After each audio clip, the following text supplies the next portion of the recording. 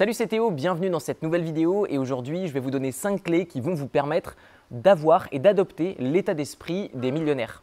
Alors dans cette vidéo, je vais vous partager ce qui moi m'a permis par le passé euh, de me connecter avec l'idée que c'est possible de devenir millionnaire.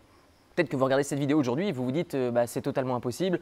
Euh, qu'est-ce que je vais écouter ce mec euh, sur YouTube qui a loué une villa pour faire semblant que Alors oui, je l'ai loué parce que je n'achète pas les baraques à chaque fois que je vais en vacances, mais concrètement, ça va plutôt bien et je suis multimillionnaire depuis maintenant 3-4 ans. Mais tout a commencé par déjà le fait de se reconnecter avec le fait que c'est possible et de comprendre à quoi ça sert. Parce que la plupart du temps, bah voilà, si on dit voilà, est-ce que tu veux être millionnaire, milliardaire, directement on se dit bah, ça sert à quoi d'avoir autant d'argent, ça implique beaucoup de travail, pour finalement, euh, bon, euh, la vie n'est pas forcément beaucoup plus heureuse. Je suis assez d'accord avec vous, mais ce n'est pas forcément une histoire de bonheur, c'est une histoire d'accomplissement et aussi d'impact que vous allez pouvoir avoir sur votre vie et celle des autres. Je vais y revenir dans un instant. La première des clés pour adopter la façon de penser d'un millionnaire, c'est déjà de penser gros.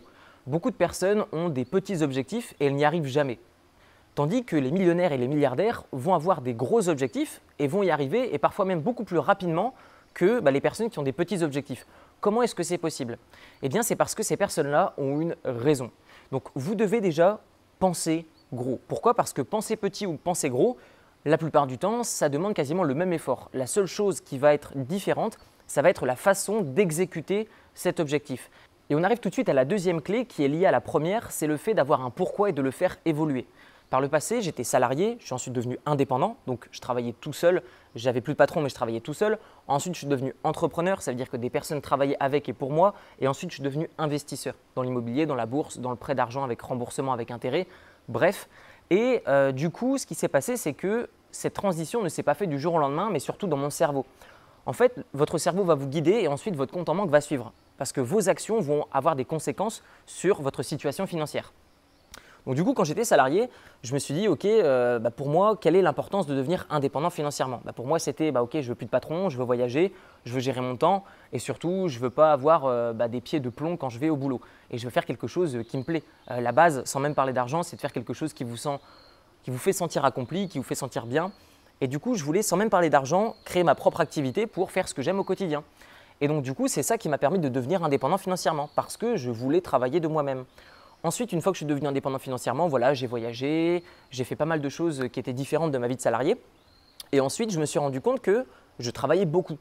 Et là, ensuite, mon cerveau a commencé à se transformer en mode entrepreneur. Et donc là, je me suis dit, bah ok, devenir entrepreneur, c'est savoir déléguer, accepter peut-être la diminution de la performance, mais un gain fou en termes d'énergie et de temps libre.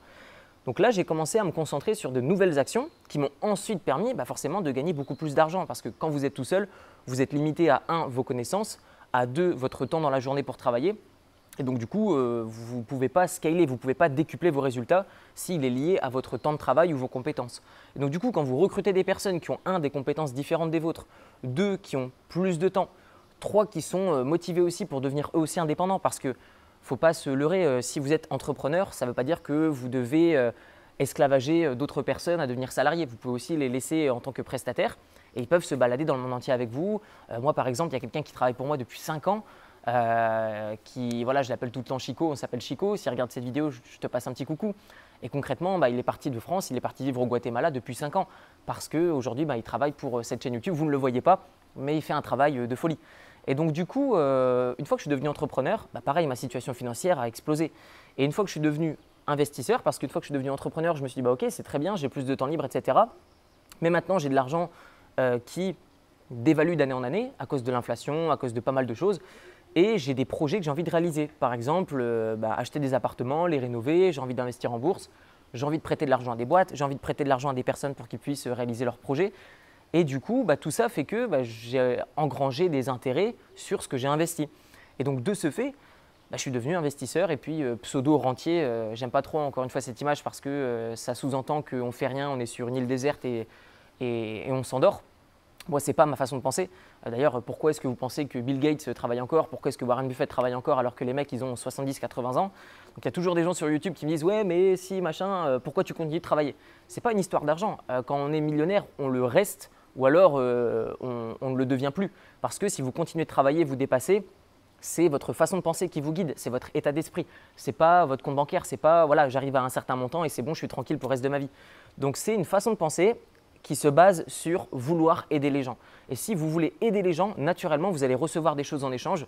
Donc ça comprend euh, bah, une partie financière qui vous emmènera vers des objectifs financiers qui sont beaucoup plus importants euh, que euh, la classe moyenne, puisque généralement ces personnes-là ont des petits objectifs, elles ne pensent pas gros et elles ne vont pas faire évoluer leur, état d'esprit. La plupart du temps, alors on voit hein, lorsqu'un étudiant quitte l'école, l'apprentissage est terminé et du coup il va rien réapprendre. Alors que pour ma part, je lis énormément de livres, j'ai des coachs, que ce soit dans la salle de sport ou pour mon cerveau, des personnes vont m'entraîner à de nouvelles compétences.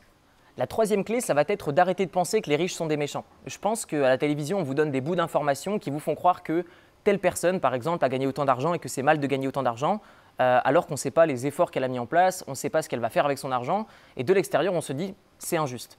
Est-ce que on vous a dit également les efforts qu'a fait cette personne pendant de nombreuses années, peut-être à pas être payé, peut-être à risquer tout son capital, peut-être à pas avoir de temps libre pour lui et sa famille, et du coup, bah, il récolte simplement bah, des ressources de manière différente. Ça peut être au niveau du temps, ça peut être au niveau de l'argent, mais de toute manière, j'aimerais vous faire comprendre une chose, c'est que les riches utilisent leur argent pour la plupart du temps développer des projets qui vont soit leur servir ou soit servir aux autres ou parfois les deux.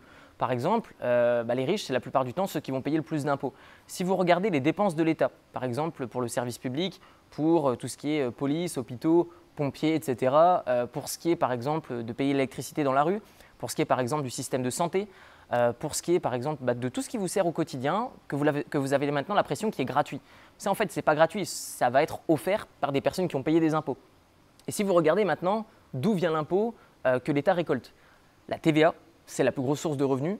Ensuite, vous avez l'impôt sur les sociétés. Et ensuite, vous avez l'impôt sur le revenu des 1%.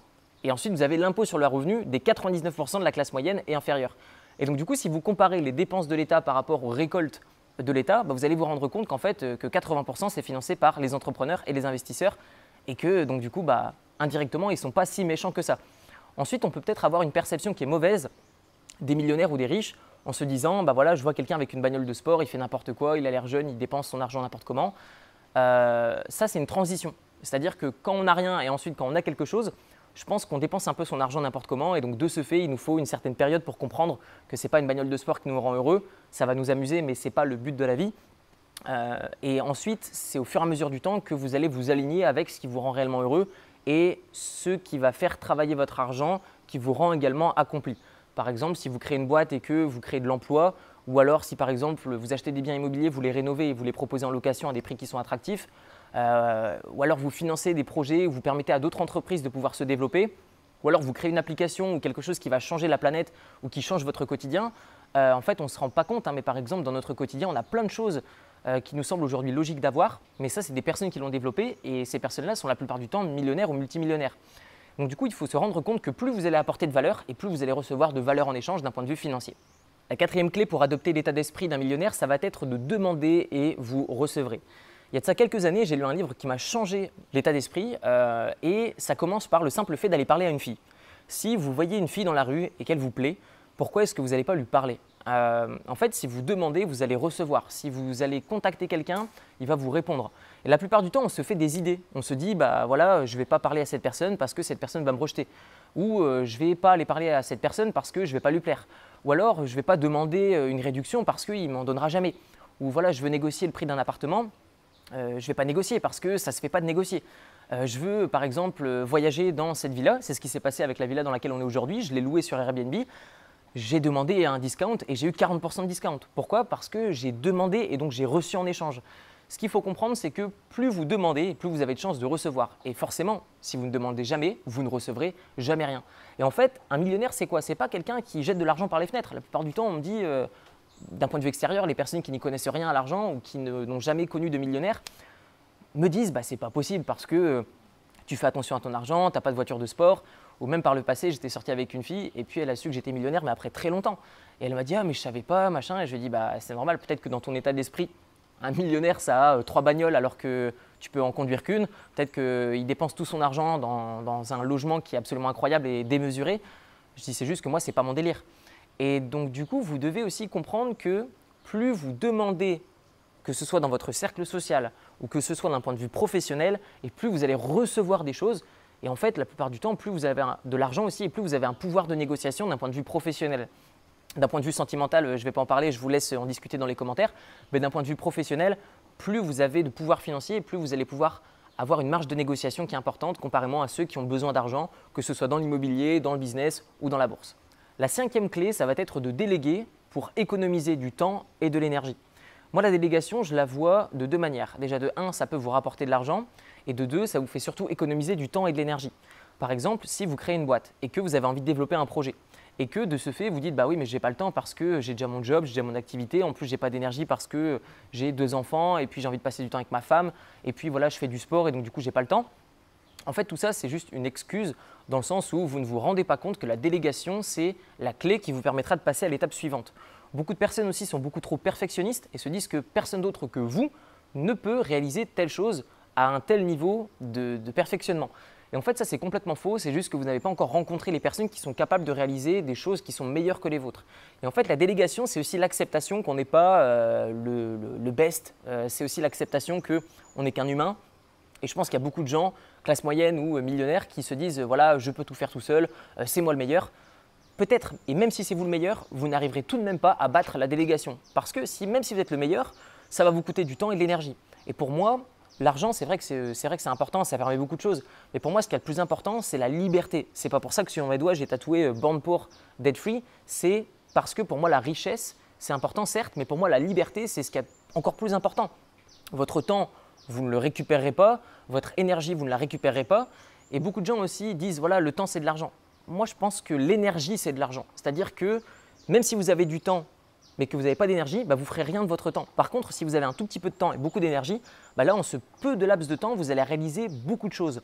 Et l'argent vous permettra de déléguer, donc d'économiser de l'énergie, et donc, avec le temps qu'il vous reste, de pouvoir l'injecter dans des choses et des décisions à haute valeur ajoutée. Donc, vous devez accepter le fait que d'autres personnes fassent des choses qui sont imparfaites pour vous, pour vous dégager énormément de temps libre, pour ensuite avoir de l'énergie pour tout simplement la réinjecter dans des choses qui vous feront gagner naturellement beaucoup plus d'argent. On arrive maintenant à la fin de cette vidéo. Dites-moi dans les commentaires ce que vous pensez de l'état d'esprit des millionnaires et vous retrouverez dans la description mon livre qui s'appelle Libre, comment se créer des sources de revenus passifs avec un petit capital. Et pour continuer dans la lignée de cette vidéo, ce livre, je ne l'ai pas écrit pour gagner de l'argent, mais la conséquence, c'est que je vais gagner de l'argent. C'est-à-dire que mon but, c'est d'apporter de la valeur, j'aide d'autres personnes et je reçois des ressources en échange. Tout ça, c'est dans la tête. Vous retrouverez ce livre et plein d'autres choses dans la description de la vidéo et je vous souhaite tout le succès que vous méritez. A très bientôt. Ciao, ciao